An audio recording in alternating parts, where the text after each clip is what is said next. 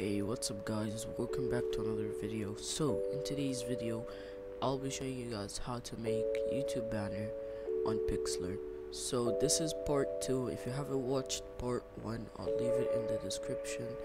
Uh, this is part 2 of making YouTube banners and today I'll be showing you how to make the other banner that I included in my YouTube banner um, in my YouTube banner folder or zip file so hope you guys enjoyed this video and let's get started. Okay so first thing you need to do is get the zip file that I left the download link for in the description. It's this uh, RAR file. So after you do the uh, things and you complete all the steps you will be redirected to the website where you can download this. Now right click and press on extract here now after you've done that you're gonna have this file right here. You you you'll open it and you'll find everything you need from the template to the stuff you're gonna use for this. This is the banner we're gonna be making as I showed in the start of the video. It's a pretty simple banner so yeah let's get started. So as you can see I left a Pixlr link in the description click on it and you'll come to this page. Now press on open image and um, go to where your file is. Double click on it and press on the YouTube banner template. Now click on the press open and it will immediately show up right here. Now after you've done that this is a locked one. Uh, for those who don't know how to use Pixlr if this lock thing is right next to it uh, it means that you can't edit on it. If you want to unlock it just press on the lock and you can um, edit it. Now I prefer leaving this unlocked since we're not going to be doing anything on this one on like this uh, picture. Now press on the plus icon again. Image I mean okay press on it press on image and then choose this anime background that I put in the file. Click on it and open it. Now you want to always have the background on top because as you can see here we can't really see where we have to put this so just put the uh, background on top and um, scale it down to whatever you feel like is the best. For me I just had it on um, yep this is like the best way. You can also have it in any way you want but I prefer having it like this. Now after you've done that um, you gotta go unlock this. And after you've locked it you click on filters details um, and you go to blur. For this one we're gonna put it on 10 so we can have this really good looking um, background now go back to filters uh, details and you're going to go to clarity. Now put the clarity all the way. If you like this way of the having like the background looking like this you can go for it but I prefer it on 20 which is the best to me. So this looks pretty nice. Press on apply and now go to adjust and put uh, click on vibrance and scale this all the way up so you can have this really vibrant looking um, background. Now you can have it on 80 it's also good but I prefer it on 100 now press on apply and this is how it's gonna look um, in the thing. Now I just noticed that I left this empty space right here so I'm just gonna unlock it and just scale it up and I fixed it. Okay. So lock that again and you can have two uh, so now you will have two locked background one background and one image. After you've done that you go to plus and scroll all the way up to text or just click on it and press text. And put this under the background not under the image because if you put it under the image then you won't really be able to see the text. So just put it above the image. Now double click on it and write whatever you want. I'm just gonna type name since my name is really short for this and it's not gonna look good. I'm not saying that if you have a short name it's not gonna look good but for me I'm just gonna write name for to like show you how it's gonna look with any type of name. Now as you can see here in this font I had this type of font which is right here.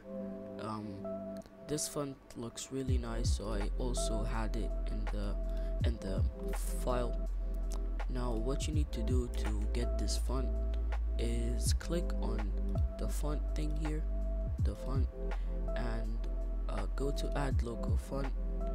And after you've uh, pressed on that go to the file and press on the font that I have added in the pack now press on it and just press open and it's gonna show up on top. I already have it once so I'm just gonna show you guys how it's done. After you've done that and now it's in the fonts click on it and adjust the size to 255 or 100 this font is pretty big so I'm gonna do it. I'm gonna like put it on 100 and try to find the middle. And yeah this is how it's gonna look now after you've done that you can go ahead and lock this or actually don't lock it yet. I forgot to do one step.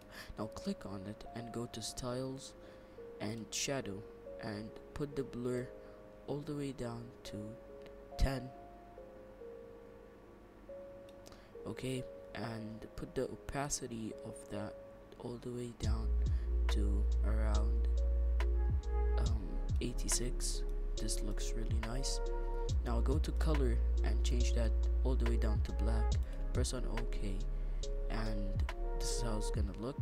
Now this looks really um not that great. So you can just scale up the blur um 17 is good. So just leave it at that and press ok. Um you can now lock it now what you need to do is press on the plus again go to image show all or just image and choose the twitter and instagram.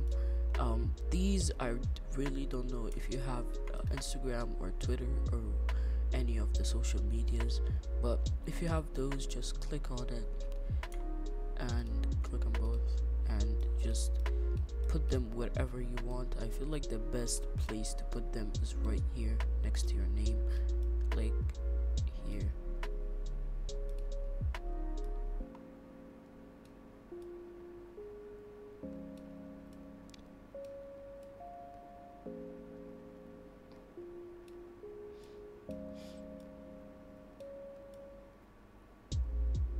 Okay so after you have uh, positioned them just write your name next to each one of them right here or right here. You can use any font but I, I recommend you guys to use this font that I left.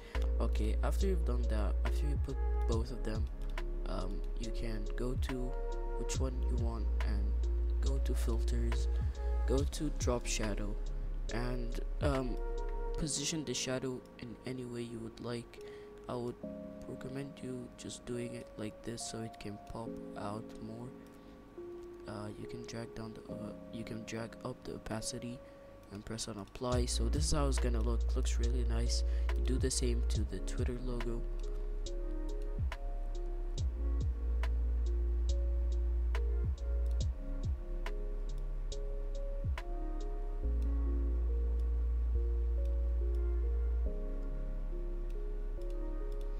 okay so this is how the final product will look. Just add your name next to it right here and right here. So this is how the final look would uh, be like. Okay so after you're done with this or after you're done with the whole thing just go to file press on save and uh, drag this all the way up to 100 and yeah that's it. So press save as. Save it anywhere you want and save.